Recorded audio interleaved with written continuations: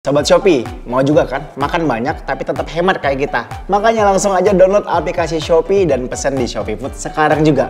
Karena di Shopee Food ada voucher diskon terus sampai dengan 60%. Yuk, download aplikasi Shopee sekarang.